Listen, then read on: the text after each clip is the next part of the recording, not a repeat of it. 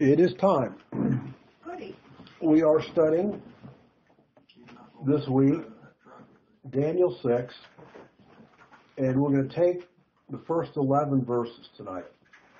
So you've got your outline, I believe. Uh-huh. Now, as I was studying this, there are a couple things that struck me very much. The first was that I was going to try to cover more in this chapter than just the first 11 verses.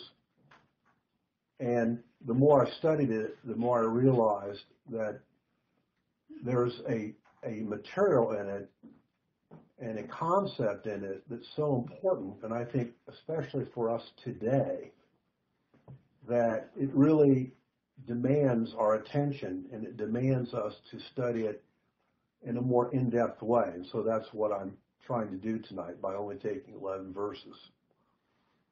Now, you know, as we move through chapter 6, we get into then the last six uh, chapters of Daniel, which of course are all prophetic. And they're, because they're prophetic, they're rather exciting. Certainly when we get to chapter 9, it's probably the most single, most dramatic, mathematical prediction in the entire Bible. Uh, and so, you know, it, it, you almost want to run to the last six or seven chapters to get to that. And yet, I really was felt like the Holy Spirit was telling me that, that the information that we have here and its application to our lives is extremely important. So let's read the first three verses and go over some of the things that are involved here. It seemed good to Darius to appoint 120 satraps over the kingdom, that they should be in charge of the whole kingdom, and over them three commissioners, of whom Daniel was one that these satraps might be accountable to them, that is the three commissioners, and the king might not suffer loss. Then this Daniel began distinguishing himself among the commissioners and the satraps because he possessed an extraordinary spirit. And the king planned to appoint him over the entire kingdom. And don't underline that, if you would, and keep it in mind because it's going to explain to you the story of what happens in the rest of the chapter. Okay? The, the king planned to appoint him over the entire kingdom. Well, let's go through a couple things here first. First of all, there's this question that we need to try to answer. And as it starts out talking about, it seemed good to Darius. Who's Darius? We know that Cyrus is the king of the Media Persians. So who's Darius? His son. Well, let me let's go through. Well, isn't Darius the terminology like president or? No, it's it's it's reference to a specific person. All right. It is. Same guy. Now, let's talk about who it can't be. Okay, it cannot refer to the king Darius the first who was a successor to Cyrus, and he reigned from 522 to 486 BC. We know about him in the lineage of the Media Persian kings, so it cannot be him. Wrong time frame. Okay? now, it's I do not think personally that it was another name for King Cyrus. Some people think Darius was Cyrus. I think that that's not true. Again, I'm giving you my opinion from studying it. You can come up with a different opinion from your own study. But I think it's extremely unlikely that Cyrus, who was holding together the Media and the Persian Empire, purposely marrying a woman who was a Mede, okay? And most of his army at this point, we know from historical references, were still highly populated by the Medians. So he's in kind of a tenuous position politically trying to hold together this kingdom that really hasn't bonded well together. Mm-hmm. You follow what I'm saying? Right. I think it's unlikely that he's going to try to rule that kingdom from Babylon because that's not the center of the government. The center of the government is up in Iran. That's where he is. Okay? Afghanistan in that area. So, you know, this is all, Babylon's almost an outpost to the southwest. Mm-hmm. It's a good 600 miles or more away from where he is. So I think, personally, I think it's unlikely that, that it's a reference to Cyrus. Now, there's a very famous person that we know was involved in the capture of Babylon. His name is Gubaru. He is mentioned in many, many historical documents. Herodotus talks about him. He was Cyrus's number one favorite general. And it looks like he was the one that was in charge of engineering the takeover of Babylon. Remember, they built they built a canal, dug out a, a, a lake, diverted the Euphrates River into it, lowered the water level. It was a big project. Gubaru was the was the general who was in charge of all of this. So I think I think it is most likely another term for Gubaru. Okay, the name's Darius. Could that name have another spelling? Gubaru, Mm-hmm. maybe. In the last lesson, you talked about one of the Babylonian generals defected to the Medo-Persians, and his was G-O-B-R-Y-U-S. That's a different person. No, I think it may be the same person Okay, because he had a relative that was killed who was killed and betrayed by Belshazzar. by Belshazzar, and, and he ended up coming over. I think it's probably the same person. See, the, the, when you start to get into, her, into historical documents, you read Herodias, you read Philo, you read all, they don't always spell the same person the same way. Okay? So you have to kind of look at it and say, okay, who are they talking about? You know? So I, I think it's just an alternate spelling for this person. So that, that was my question. Yeah. Now, Don't it, they also have the same problem of interpretation beside just the spelling of the name? When you go back and look at how the Bible was originally put together in its books? interpretation in what, sense?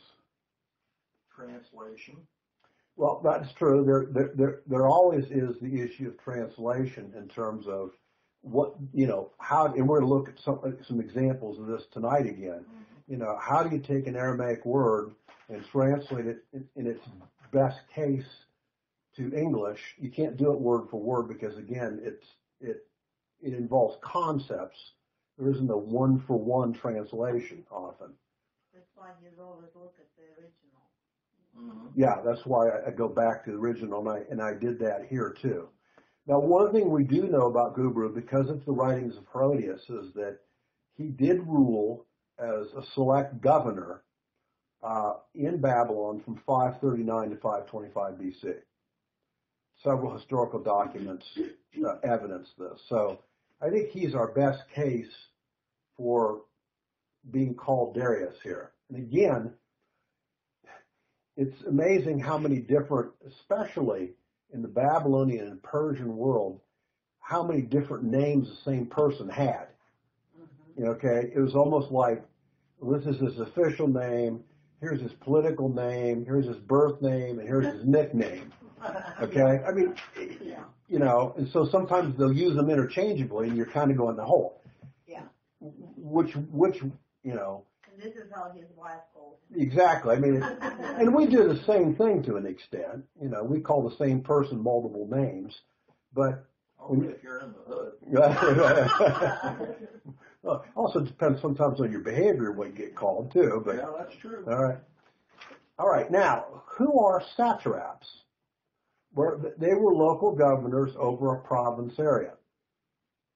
Uh, I can show you a couple examples of this, but the meaning of the word satrap in Aramaic is protector of the realm.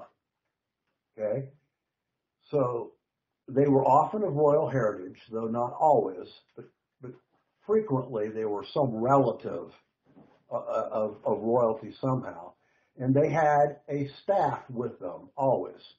It always included an official scribe who was one that wrote down laws, you know, wrote down codes, made them official, sent communiques back, you know, uh, to Cyrus, et cetera, et cetera, or to other province areas. They also had a chief taxation officer.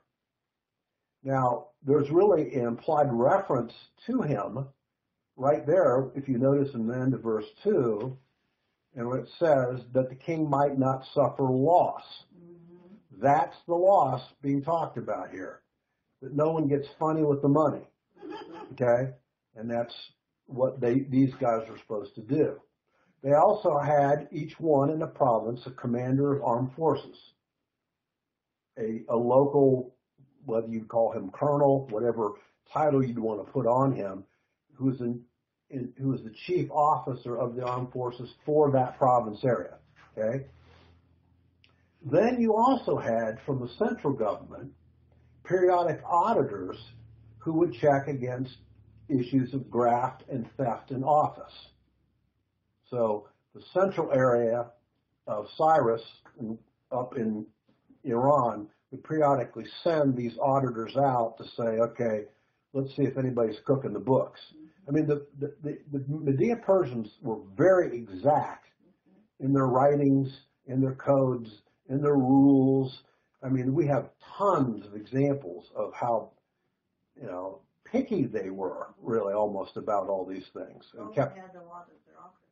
they did, had tremendous bureaucracy, which interestingly enough is what did them in to an extent too. Now, also, uh, the, satraps were also the head of the judicial system for both criminal and civil cases. So they act as a major magistrate in the province area too. So they, they wore a couple different hats, uh, each one of these. And, and the kingdom of the whole Media Persian area was broken down into 120 of these. Okay? They weren't all the same size. Some were smaller, some were bigger. But they did all have that component of government that I just described in each satrap area. But can we assume that they were very corrupted? Well, Not really, it's any other. they were, there was, let's put it this way, there was a great tendency for them to be corrupted. Okay? They tried to do their best because of, of records to not be, but it was a constant problem, Yeah, knowing human nature. knowing human nature. They dealt with criminals, Well, they had, they were, and they were dealing with lots of taxation money. Whenever you add power and, the, and, and money together, you've got a bad combination. and So then spreadsheets to track it. that's right. Times haven't changed. Times have not changed, and that's one of the. Th- I think this chapter is literally timeless, mm-hmm. and I'm going to try to show you why tonight. Okay. Now, we must remember as we look at this whole chapter that there are certain things about Daniel that are dealt with because he's the focus of this chapter. And as I note under C here, the chapter proved that he was a man of character, which we're seeing here in verses 1 through 3, that he was a person of consistency, which we'll see in verses 4 through 9, that he was a person of great conviction, and we'll see the evidence of that next week in verses 10 through 15. He was a person of conscience, which will be demonstrated in verses 16 through 22, and of course, person of great courage, which we'll end up seeing in verse 23. Now, as it says, Daniel was appointed as one of the three commissioners who oversaw all of these satraps. Okay, so he's a higher level than any of the satraps are. He's one of three commissioners. The reason why is because it says that he had distinguished himself. In Aramaic, it's the word nasa, and it means to exhibit or to be preeminent in brightness or brilliance or to, quote, stand out. we see a in the New Testament a uh, an example of this. If you want to hold your place in Daniel and turn to uh, Philippians two, we see the same concept communicated here by Paul. Philippians chapter 2.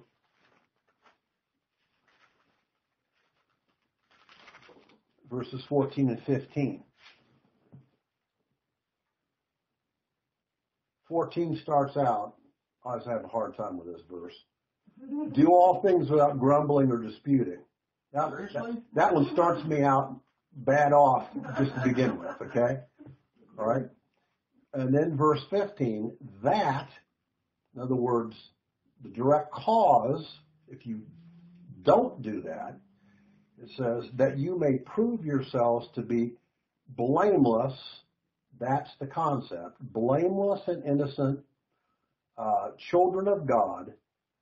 The word here, above reproach, would be a very good uh, synonym for what we're talking about here about Daniel. He was a person above reproach. And Paul says we're to be above reproach. And look, look at this. In the midst of a crooked and perverse generation, among whom you appear as lights in the world. Now, let me tell you, we are in the midst of this going on, especially in our culture right now. We are in the midst of an exceedingly growing, perverse, and crooked generation. Okay? I just read, I think today or yesterday, that I think it's in Britain, they're now considering outlawing the word mankind because it's a prejudicial word against women and transsexuals. I mean, this is the kind of crap that's going on on a daily basis now, trying to remake the concept of humanity, trying to remake the concept of male and female, trying to remake laws about all these things. In Britain, or I'm sorry, in Canada, it is now fourth degree felony to say anything directly against Islam. Fourth degree felony. What does it mean, fourth degree? It means it's a relatively serious charge, criminal charge against you, where you at the very least will end up paying a sizable penalty monetarily for it, at the least. But it, the, the, I think the uh, code indicates that you could also be jailed for it too. Okay? This used to be called freedom of speech. Hmm. This used to be called freedom of religion. This used to be called freedom of expression. It is being outlawed progressively.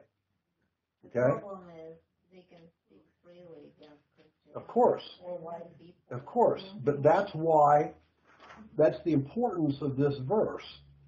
As he ends it in Philippians 2, he says, among whom you appear as lights in the world. In other words, the darker that the world becomes morally and spiritually, the more light will be shed by those who believe, by those who are Christians, by those who hold firm to their convictions. But like Daniel, don't expect that it's not, that it's going to be an easy road. Because I assure you, as we look at what happened to Daniel, it's not going to be an easy road. We're going to see how it wasn't easy for him, and it's probably not going to be easy for us either. Don't you have to think that we go back to what's being taught in the churches today? And the Or not millennials taught. across the world, Or not taught. Or not All taught. that. Yeah. Same. that, that leads to credibility of your statements? Yes, there, the, the church of the, particularly of the, what's come to be called the progressive church movement, mm-hmm. okay, is what they're calling it, is, has taken out most of the key elements of historical Christianity. It does not talk particularly about the gospel. It does not talk about being reborn, spiritual rebirth. It does not talk about anything but love. It never talks about God's anger. It never talks about God's judgment. It never teaches about prophecy. It never talks about hell. It doesn't cover any of those things anymore. Or Those are- it doesn't talk about sin. exactly. It, it has become a mediocre, lukewarm, people-pleasing, mm-hmm. religious ceremony that people go to on Sundays. You know, tickle the ears, as Paul said, and this is what it is. They really believe that they're doing the right thing, I wonder? Well, let's put it this way. They know what they don't want to believe because they won't read it and they won't teach it. It's all there. Mm-hmm. Okay, they don't have a Bible any different than you and I have, mm-hmm. but they sure select an awful lot of things that they don't teach. They don't comprehensively teach, as Paul said, the whole Word of God. Mm-hmm. Remember, he used that phrase, teaching the whole Word of God. Comprehensive, A to Z, you know. So, Is this a situation where God is letting this thing play out? Like- Very, very good question, Norman. And, and we, when we get down to uh, verses four to eleven, I want to talk about that because I think that's exactly what he's doing. And that, I want to go there in a minute, okay? But good question. You anticipated it Well, that's what Romans one said, and he gave them over. Yeah. Okay. Now remember, at the end of verse 3, this verse that ends up getting Daniel in big trouble. I just lost my place here. Daniel, here we go. And the king planned to appoint him over the entire kingdom. He was going to be the preeminent administrator over it all. Okay? Over 120 region. Yes. Now, if you want to, if you want a target put on your back, that would be a very quick way to do it. Okay, and that's exactly what happened. And again, it's not Daniel who's asking for it. It's all an issue of the observation of Darius about Daniel's character. That's his, what it's all about, his character. He stands out, okay? That, that's what it means, an extraordinary spirit, okay? Uh, it means, uh, it, it, uh, you see the phrase there? It says, uh, the extra, he had an extraordinary spirit. It's the word yatir, and it means excellent, outstanding, superior. And it's interestingly, the same word that's found, turn back a couple pages to Daniel 2, you're going to see exactly the same word used here in verse 31. And this is about this fantastic statue. Remember? Okay, 31. You, O king, were looking, and behold, there was a single great statue. That statue which was large and of extraordinary splendor. That's the word, yatir. And was standing in front of you, and its appearance was awesome. So you get you get the idea. From Darius' standpoint, Daniel was a head, arms, and shoulders above all of them. He could find no fault in this man. Okay? And that's why he was being elevated to the position that he was being elevated. Now, Could- But could he rule? That's the key question. he did rule. But could he rule? I mean, you got how many different places he's in charge of?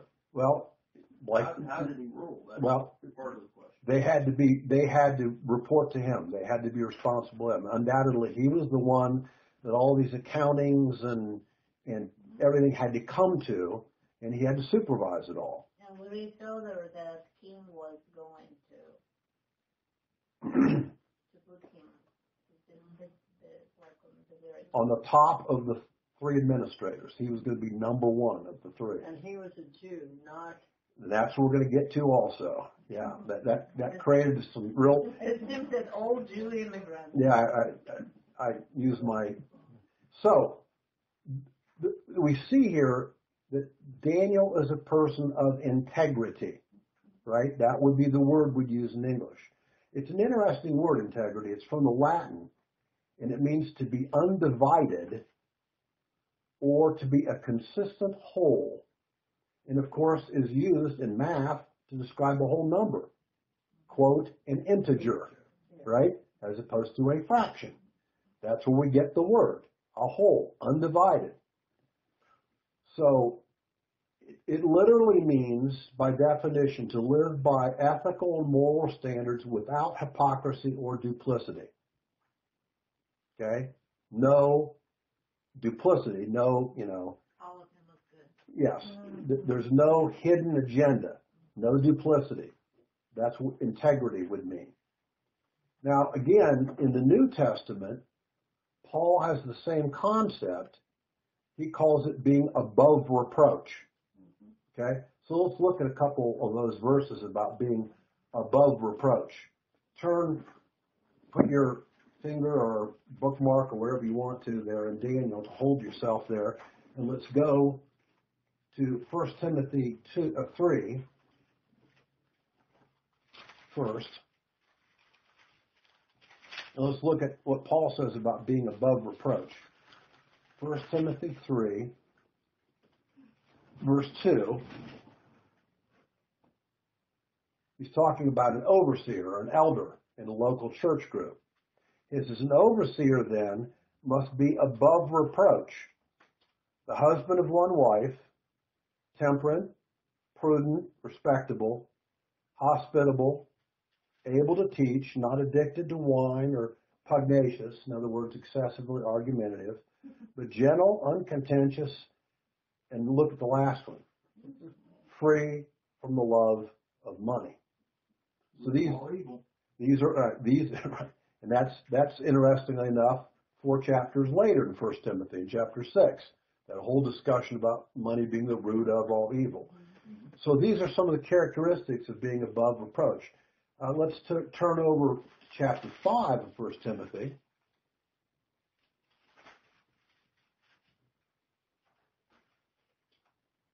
Again, in verse seven, he says, prescribe these things as well so that they may be above reproach. Now, in this case, he's talking about the obligation that a person has to taking care of their own aged relative.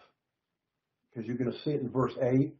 But if anyone does not provide for his own, and especially those of his household, he has denied the faith, has become worse than unbeliever. In other words, he's saying, have integrity and take care of those people in your household that need to be taken care of. Don't let the elderly parent or whatever it is not have your attention. Okay? Do for them as you should do for them. Treat them as you should treat them. Respect them. That's what's being implied here in terms of this concept of being Did above they have drugs back then? Of course they did. Seriously. Oh yeah. Of course they did. It's called pharmakeia. This is the Greek word. It included hallucinogens and many other types of substances.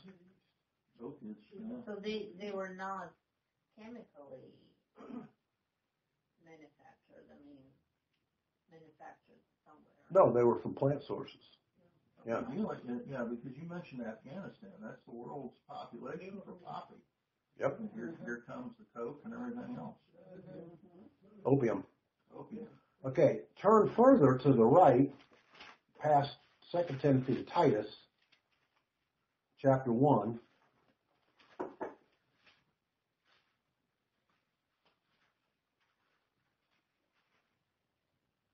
This is again Paul instructing about appointing elders in each church group. And look what he says about them. Verse 5, he says, For this reason I left you in Crete, the island of Crete, that you might be in order, that you might set in order what remains, and I appoint elders in every city as I directed you. Namely, so now he's just described what, how should these people be? What should they be like? If any man be above reproach, here's our word again, a husband of one wife, having children who believe, not accused of dissipation, literally is a is an old kind of an old word for drunkenness, okay, okay, or rebellion. For the overseer must be above reproach as God's steward, as God's steward, okay, not his own steward. And then he says, not self-willed, not quick-tempered, not addicted to wine, not pugnacious, again, starting arguments needlessly, not fond of sordid gain. In other words, you know, yeah, doing something to uh, take pilfer from the tills to take for yourself. But rather, the elder should be hospitable, loving what is good, sensible, in other words, having good judgment, just, devout, self-controlled, holding fast the faithful word which is in accordance with the teaching, that he may be able both to exhort in sound doctrine and to refute those who contradict. So he has to be a capable student of the Bible. Okay? All of these things are characteristics of this office. Now, this is a high calling. This takes exceptional character. And it's the character that we're, that we're looking at here in the person of Daniel. So go back again to Jan- Daniel chapter 6. Now, um,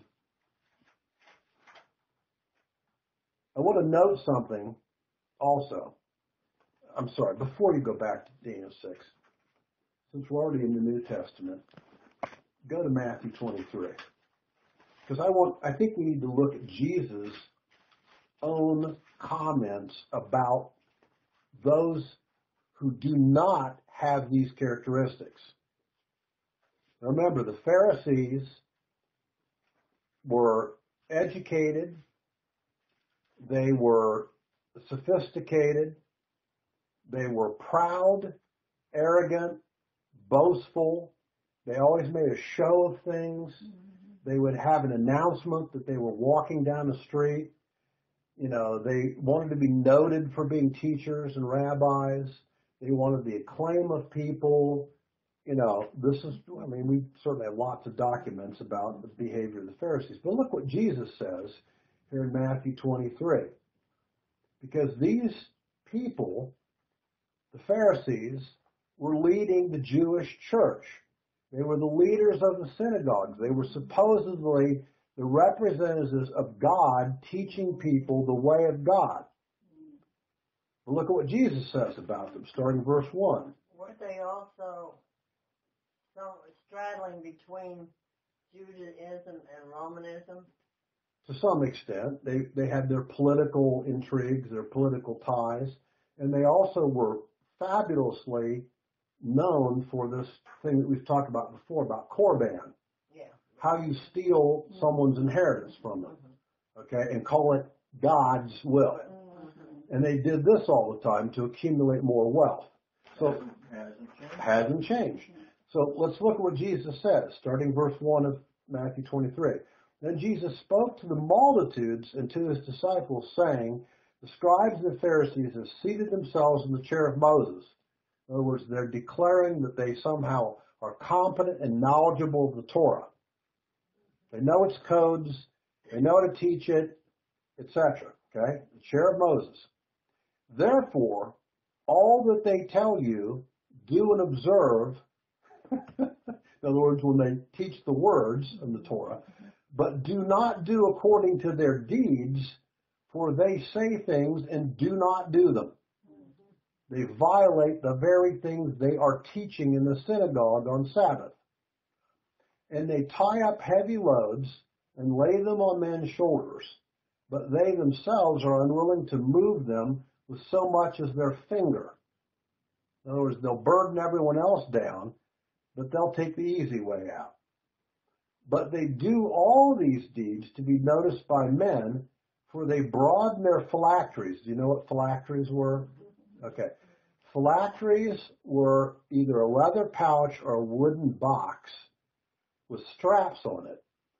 And the Pharisees and the rabbis would take little uh, parts of scripture, let, let's say a verse from Isaiah or from Proverbs, and they would take this little piece of papyrus and put it in this little pouch or box and they would tie it to their head because they were literalizing where it says that you're supposed to keep the word of God in your heart and your mind constantly. Okay, well they literally tied it on their foreheads, okay, as a show of how incredibly spiritual they were, okay?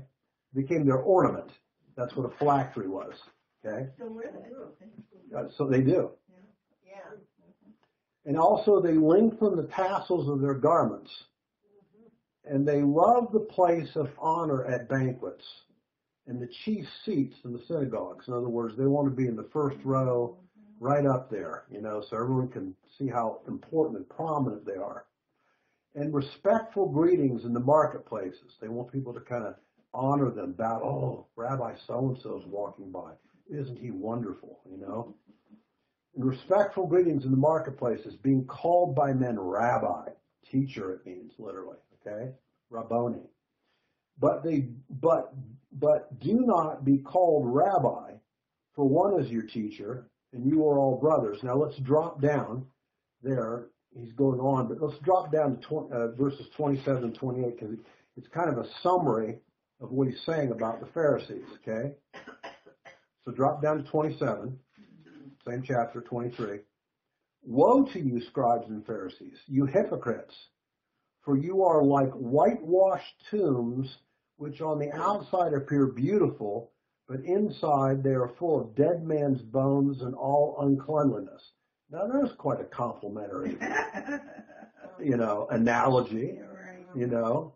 He says you're like a grave where it's nicely inscribed on the outside and kept nice and polished, but inside it's full of death. And, then verse 20, even so you too outwardly appear righteous to men, but inwardly you are full of hypocrisy and lawlessness. And then he goes on and denounces the whole chapter literally. He spends denouncing the behavior and the lack of character of the Pharisees and Sadducees and the scribes. Mm-hmm. This is the opposite of Daniel. Okay? Daniel is the complete opposite of what Jesus is mentioning here. Now, let's read uh, verses 4 through 11 of Daniel 6. Here's the plot. Then the commissioners and the satraps began trying to find a ground of accusation against Daniel in regard to government affairs, but they could find no ground of accusation or evidence of corruption inasmuch as he was faithful and no negligence or corruption was to be found in him. Sound like today? I mean, you think about those verses and you try to think, is there any elected official we know that could be live by this standard? No, no. I mean, there's probably not a one. Everybody's got their agenda. Everybody's got their pocket lined by somebody else. I mean, let's face it. If you get elected to Congress, you walk out of that place a millionaire. Mm-hmm. Do you know anyone that's not a millionaire in Congress? Yeah, right. Okay? I mean, why? How could you end up being elected as a government official and all of a sudden go from be, having a nominal income to walking out of that place a few years later and with millions? Because, The one that you asked is an Ohio senator. I hate to say it, but it's Sherrod Brown. of course, Yeah. He, he has not really got a dime or a dollar to his name, really. But if you look at Jim Renacci, who ran against him, he's one of the owners, the principal owners of more nursing homes all over the world. Yeah. And he's got millions of Of course. dollars. well, and of course most politicians have millions of dollars. Mm-hmm. If you look at the history of Absolutely. Barbara Boxer out in California, Oh, okay? How about, how about our dear Nancy Pelosi? That woman is millionaire times many.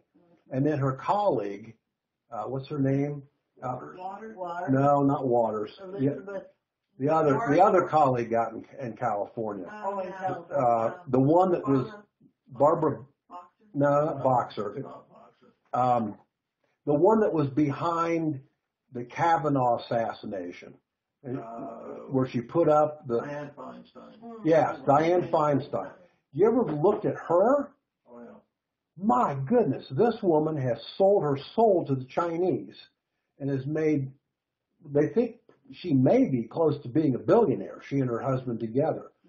They have been in the real estate market selling everything the Chinese are willing to buy out in California. I mean, she's up to the eyeballs in money, you know. These people cannot possibly have a serious interest in what's best for this country. Right. Have you read anything about Waters? No, of course. Yeah. Unfortunately, Maxine should just check herself into a mental institution get, get some help because What's she's she gonna do with her, uh, limo driver in that Rolls Royce she rides around in? And of course the the money she gets for her daughter and the corruption. Uh, it's just unbelievable. I mean, the, the Why are we sitting, Yeah, why don't we go go to back to Washington? Okay. But the point, I'm sorry, the point I'm trying to make is we look at the natural progression of the politician, okay? And we see the corruption, we see the power, we see the influence, okay? We see that being sent to Washington is a surefire way to end up with skeletons and more closets than you can count. That's what happens. And we compare this to what's being said about the nature of Daniel and what should be our nature. Okay? Daniel is an example of who we need to become also. Okay? He's God's man. So, we go on. I think, I think I, uh, what I end up, um, yeah, no, I was, I read verse four. Uh-huh. I read verse four, so let's, let's read five through nine. So they can't find anything about how he's done a single thing wrong administrating the province in any respect, okay? Then these men said, We shall not find any ground of accusation against this Daniel unless we find it against him with regard to the law of his God.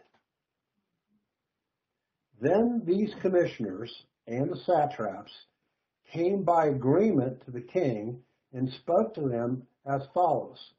King Darius live forever, and all the commissioners of the kingdom, the prefects and the satraps, the high officials and the governors have consulted together that the king should establish a statute and enforce an injunction that anyone who makes a petition to any god or man besides you for 30 days shall be cast in the lion's den. Now, O king, establish the injunction and sign the document so that it may not be changed according to the law of the Medes and the Persians, which may not be revoked. Therefore, King Darius signed the document, that is, the injunction. So let's take this apart. Now, the spiritual lesson of this entire chapter is how we too, like Daniel, are called to thrive and excel in a hostile world where the key element to our success is integrity and an unwillingness to compromise. Compromise our faith, in other words. That itself, in the world that we live in, will create tension, jealousy, discrimination, ridicule, and accusations where they would call us bigoted and intolerant, and it will inevitably, at some point, lead to a crisis that will be for our testing. That's what happened to Daniel, and that's what's going to also, I believe, happen to us. Now, let's look at a couple verses here in the New Testament. And the last one I think is extremely important, which I'll tell you about. I didn't write it down, but look at Ephesians 6:16. Again, put your keep your place in Daniel, but go to the New Testament. Back to the book of Ephesians, chapter 6.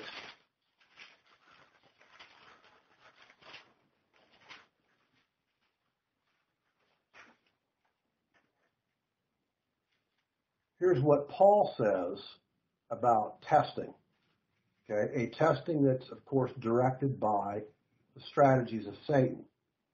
He says, in addition to all, take up the shield of faith with which you will be able to extinguish all the flaming missiles of the evil one. Okay? It's our faith that will be our protection. All right? Look also, go to the right from Ephesians, past Colossians, past Timothy, past Philemon and go past Hebrews and go all the way to Peter. So I want you to look at First Peter. We'll, we'll do chapter four first.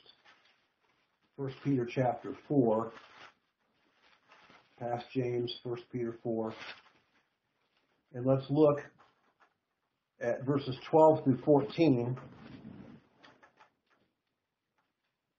Beloved, do not be surprised at the fiery ordeal among you, which comes upon you for your testing, as though some strange thing were happening to you. Now think about it. Think about, just as an example in this country, what the, the kind of things that the left is talking about. You know, you can't reason with them. There are no facts that you can present to them. It's almost impossible, seemingly, to have any discussion with them. All right? But that's not the point. The point is that that they are in the midst of doing something that may seem strange, but it's a spiritual test. Okay? It's a spiritual test. So don't try to figure it out or reason through it or think that you can appeal to them. See that there's a spiritual reason behind it and there's a spiritual force motivating it. We're going to get to that in a minute too. Okay? Then go to 1 Peter 5, the next chapter.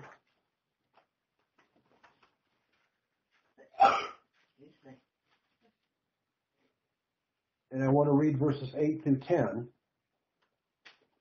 Be of sober spirit and be on the alert. Your adversary, the devil, prowls about like a roaring lion seeking someone to devour. Okay? Bottom line, he's always at work. He's always figuring out a new strategy, a new approach, manipulating, inciting, you know, to get his strategy promoted in the world. He says, but resist him, firm in your faith, knowing that the same experiences of suffering are being accomplished by your brethren who are in the world. In other words, you're not alone in this. This is what's happening to the family of God. Okay? The family of God, the true family of God. And then he, notice what he says in verse 10, which I think we should take comfort in. And after you have suffered a little while, the God of all grace who called you to his eternal glory in Christ will himself perfect, confirm, strengthen, and establish you. In other words, he's going to be behind your defense. Okay? You know, I think about, and we were mentioning it, Norman, before we started. You know, you look at what's going to be the beginning of Congress this year. And it's not hard to figure out what it's going to be. It's going to be constant, perpetual attacks against Trump, calling him every imaginable thing, accusing him of every imaginable thing.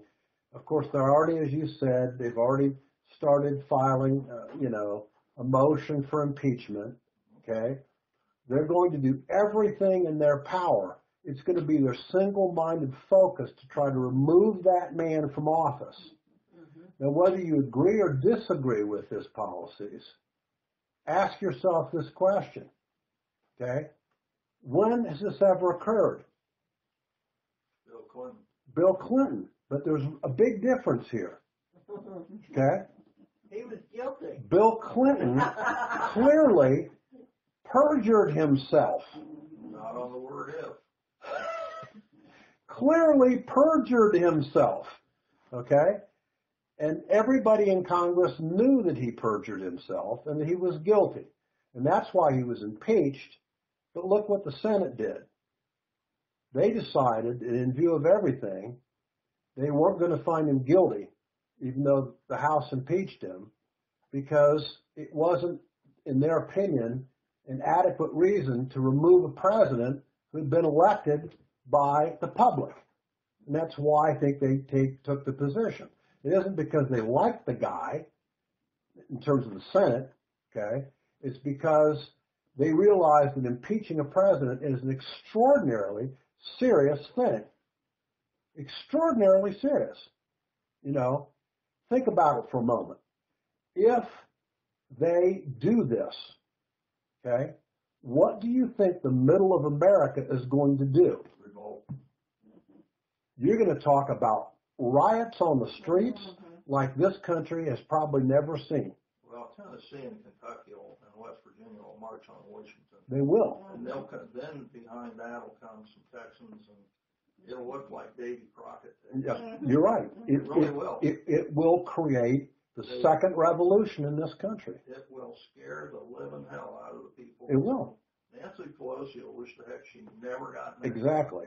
Nancy Pelosi better get herself in a bulletproof vehicle and live in it in bulletproof house from then on. Okay? I mean, I'm not saying that because I think it's a great idea. It will be a tragedy. Mhm. It will be a tragedy. But if they promote this, it's going to create civil unrest and an absolute explosion in this country. Okay? Now, at any rate, I, I will try to not pontificate quite so much here. If, if, if Trump was smart, the first thing he'd do is shut the heck up. The mm-hmm. second thing he needs to do is get the hell off of Twitter, Twitter, and no person in his administration has been able to tell him anything. Right. And that in itself can be his downfall. Yeah, it's true. But at the same time, I think the reason he does it is beca- because he knows full well there isn't one media source out there that's going to accurately report anything he says. Uh, there's there's two. Newsmax and OAN are now live and running. But the, the difficulty between what we're saying here tonight it just proves the patience of God. Because if you think back to what you're teaching and where we are today, even with Jesus coming here, God's still got an awful lot of patience for us. He does. Now, I want to show you something that I think is very important. We're already in 1 Peter 4. I want to show you verse 17 because it is a very enigmatic verse. I literally took this apart kind of word by word in the Greek. And it's, it's, well, let's just read it first. But I think even in reading it in English, you'll see it's very, it seems very enigmatic. So let's read it. For this, is, for it is time for judgment to begin with the household of God. And if it begins with us first, what will be the outcome for those who do not obey the gospel of God? Now think, what, what's Peter telling? He's, he is talking about this in relationship to the end of days. Mm-hmm. That's the context here. Now, if you look at this verse, it's very interesting. The word judgment, you see right there, mm-hmm. in the Greek means a last or final one. In other words, it's not one in a series of judgments, but it's the end type of judgment. It's the last in, in a series, the final one. That's what the Greek implies about this word. That's the tense it uses. And then it says, and if it begins with, the word begin is very interesting also. It means to be the first thing and to continue by something. Okay? It's, it's, and it's a bizarre word because it's the word arco. The word arco or arche is the word that's used in Ephesians 6 to talk about the powerful demonic entities. So it seems to be indicating that this testing that's being talked about, this judgment time that's being talked about, is one that is perpetrated by the arche. Which, and again, if you we're only looking as an example in this country. There's plenty of other examples around the world. But if you look at the lunacy level of what's going on, how do you explain it any, any other way? You know, it, it, it's almost like looking in a way at, at the la- last couple years before Hitler completely captivated the entire German population.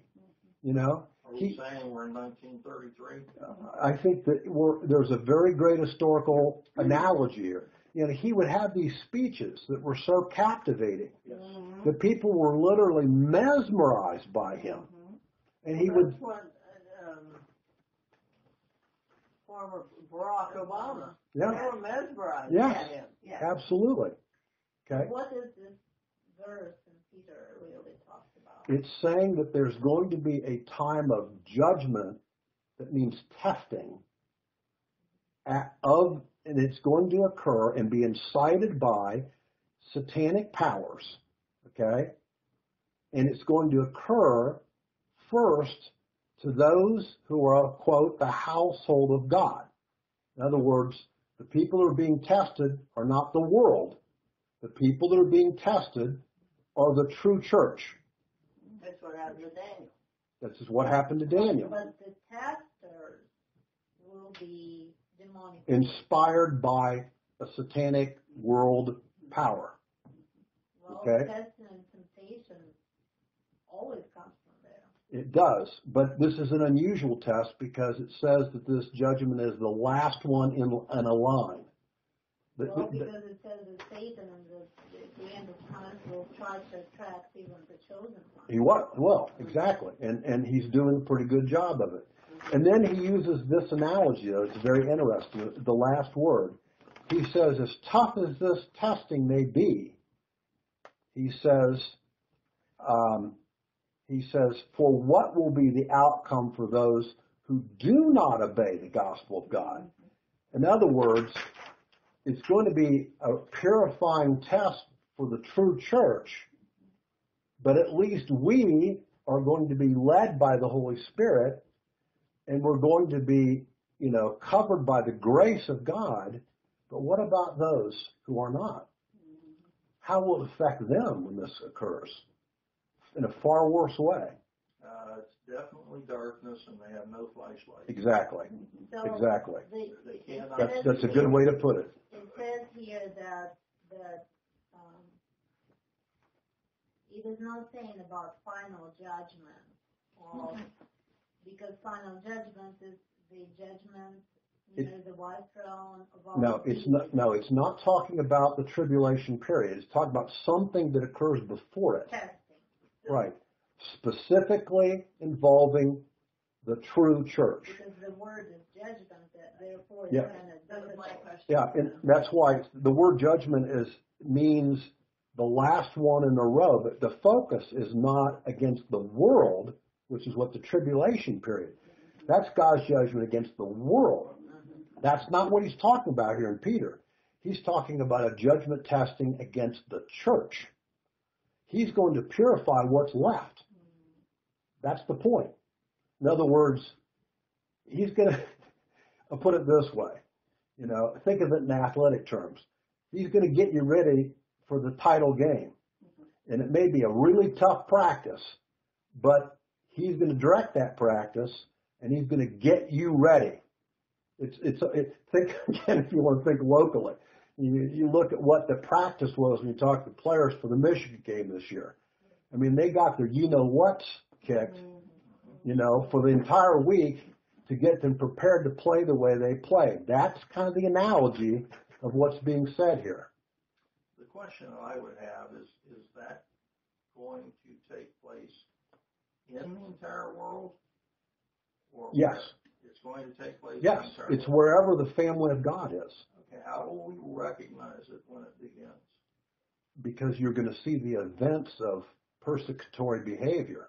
What's happening in, in, You're going to see the falling away of the church from its true teaching, and you're going to see an increasing intolerance of the unbelieving world against the church.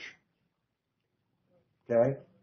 I think you're going to find that there's going to be a lot of illegal activities. I'm creating too much heat back here for the. Okay, all right. I- It, I think what you're gonna find is like in Canada, it's gonna come here. They're gonna start making civil codes to say that the, that the traditional teachings of the church, you can't advocate. You can't say them out loud.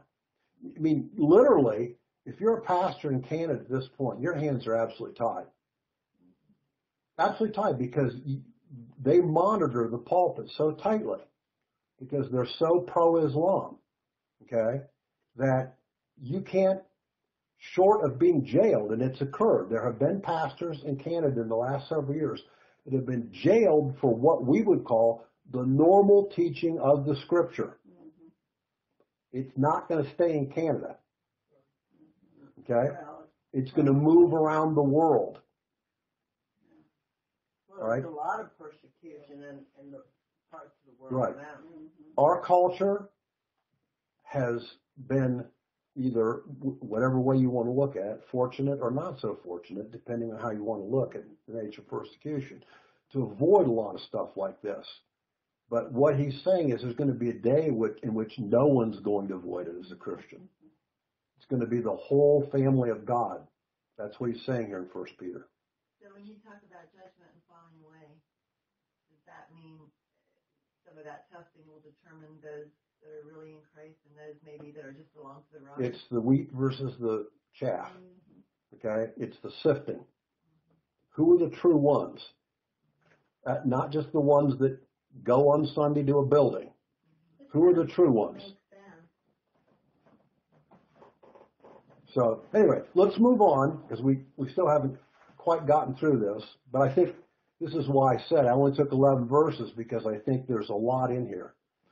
So the, the spiritual lesson of this chapter, as I said, is that we're to, you know, thrive and be lights in the world in a hostile world. Now, notice they first scrutinized Daniel's work in his government position. Surely they believe he must have cheated. He must have been on the dole. He must have lied. He must have stolen somewhere. There must be some skeletons in his closet. They could find none. That's unbelievable. It's remarkable. They just didn't dial up Bill Clinton. That's true. They dialed the right phone number, they'd have had it. They would have had it, but this was not the person they were dealing with. So they developed a different tactic. Okay? As a Jew, from his first days in Babylon, Daniel never attempted to hide his faith. Do you remember chapter one? Yep. Right?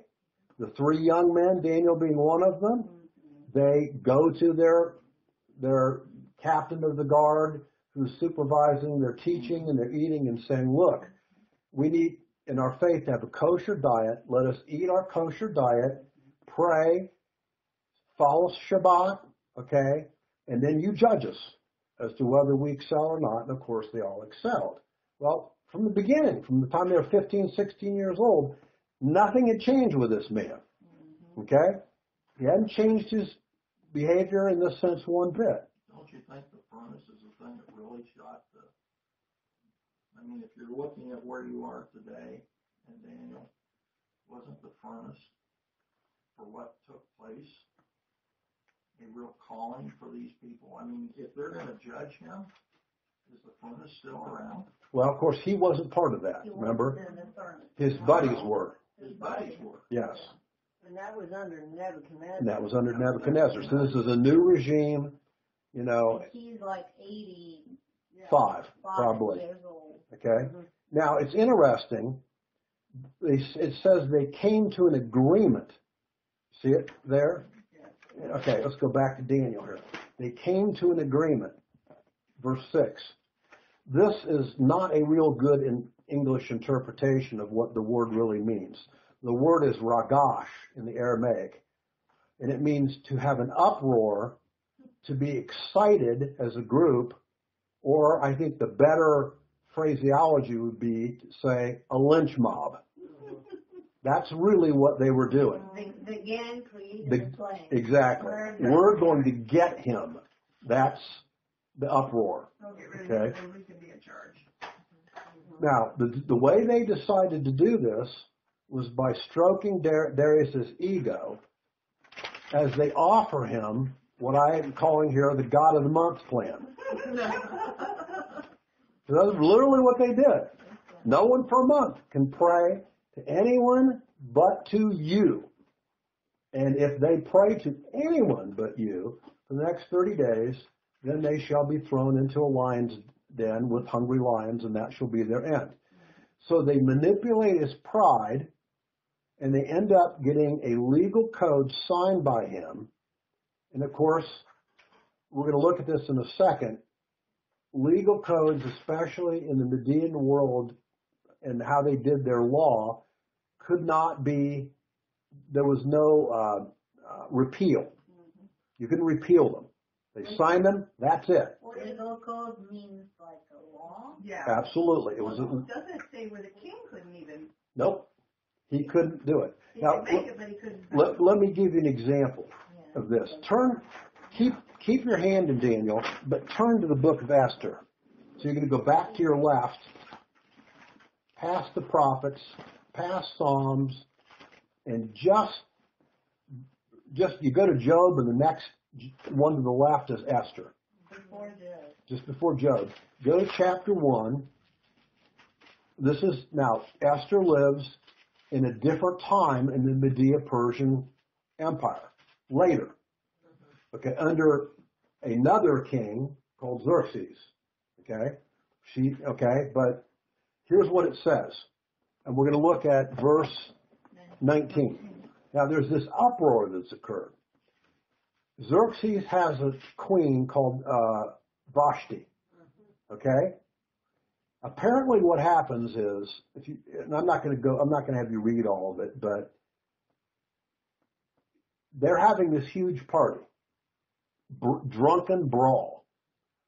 The implication in the language is that the king, in his drunken stupor, orders Vashti to come in. Okay? Mm-hmm.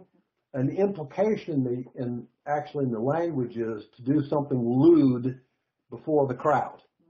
That's really the implication mm-hmm. in the, in the language. He actually called Clinton. apparently. They apparently were friends, okay? So she refuses to come in. Okay? So here's the here so the, all the princes that are at this party are furious. She is not coming in to do this. Of course, they're drunk out of their minds. Mm-hmm. So read verse 19.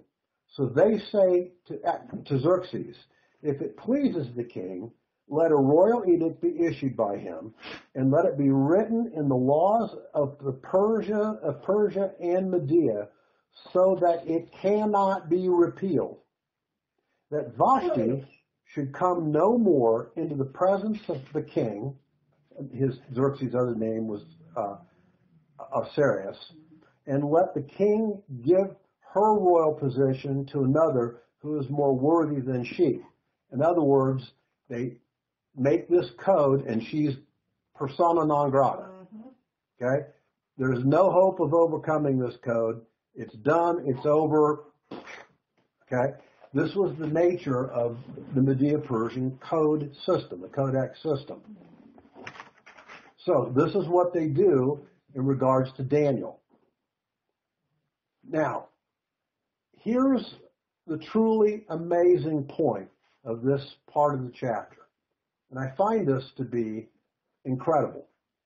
I mean, I, I think about this and I think, what a man. I mean, it just amazes me. Mm-hmm. Here's the spiritual point.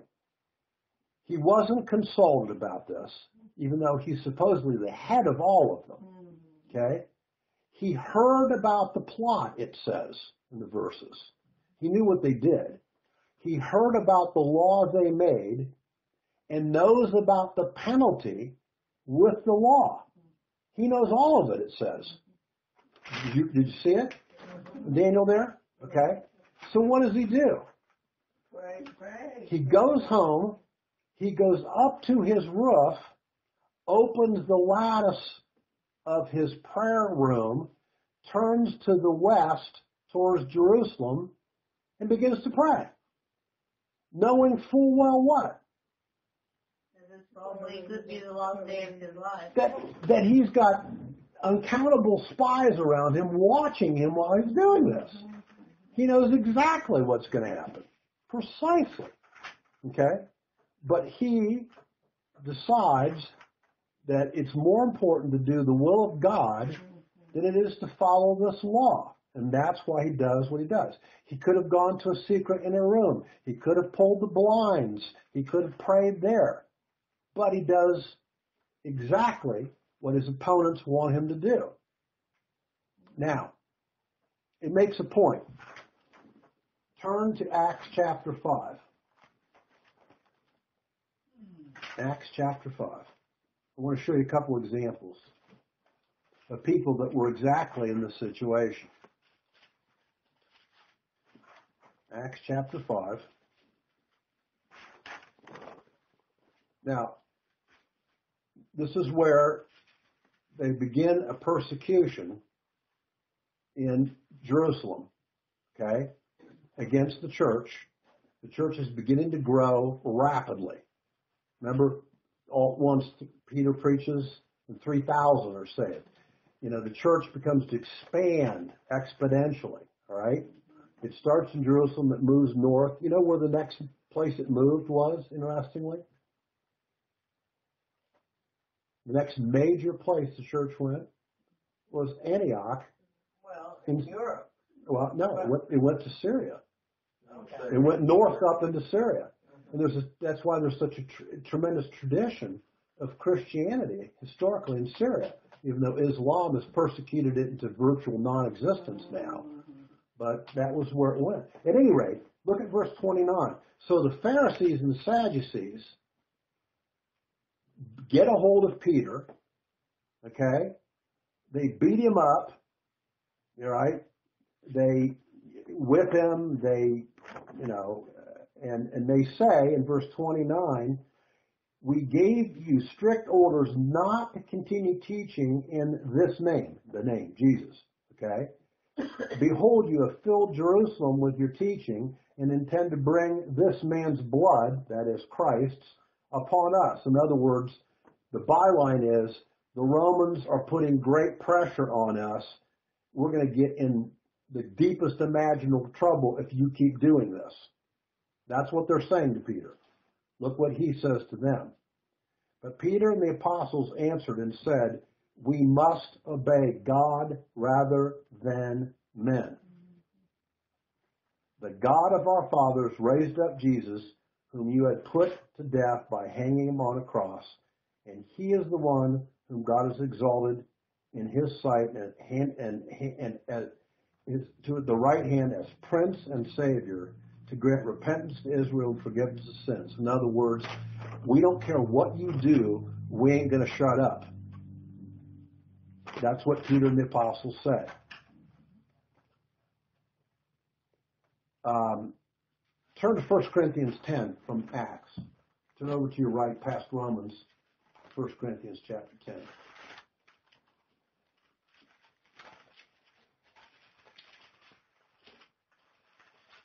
Here's Paul speaking.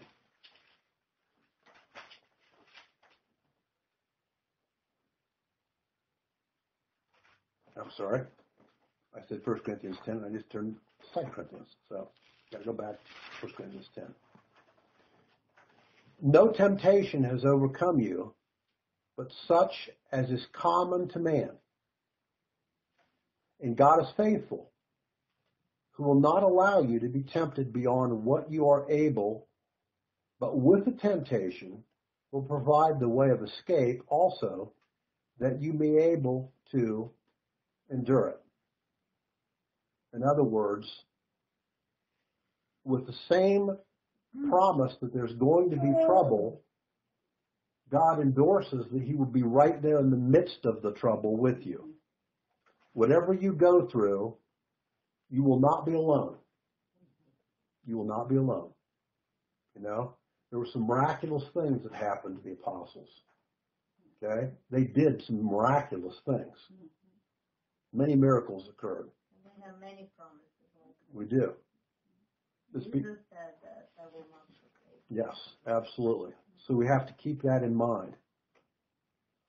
So, matter of fact, there's a quote from a, a British theologian who I've read a few of his books. His name is Martyn Lloyd Jones. It's really quite good. Matter of fact, I have his, I have his writing on, uh, on the, uh, the Sermon on the Mount. It's really excellent. Lloyd Jones says this, man is at his highest and greatest when upon his knees he comes face to face with God. Mm-hmm. We are called to pray constantly, unceasingly, perpetually, daily, all the time, because it's our link to our Lord.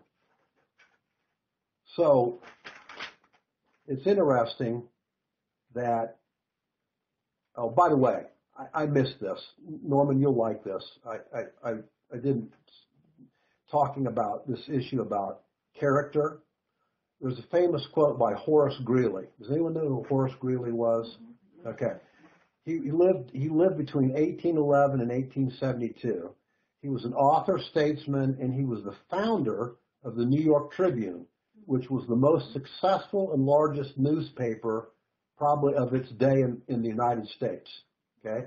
And Horace Greeley state, made this statement, quote, fame is a vapor, popularity in accident, riches take to the wings, those who cheer today will curse you tomorrow, and the only thing that endures is character. That's what Horace Greeley said. Oh, that's the one thing that they're gonna hammer Trump on, the last word, character.